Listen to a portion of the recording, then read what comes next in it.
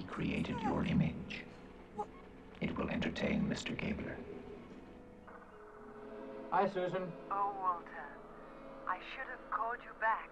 I can't see you today. What do you mean? Walter. What's wrong? Nothing. Everything's fine. What's happening? What about lunch? What's happening? I'm sorry. Let me go to him. I, I can help you. Please let me go to him. Well, what about the environment? It's working perfectly now. Are you okay? You sound sort of peculiar. I'm fine. Thank you for coming. I'm sorry to have bothered you. Goodbye, Walter. I'll call you if I need you again. Susan? Please don't go. Don't believe.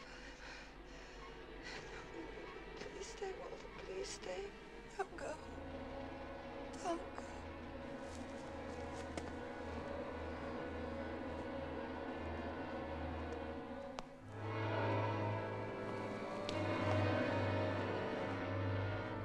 Don't go. Walter.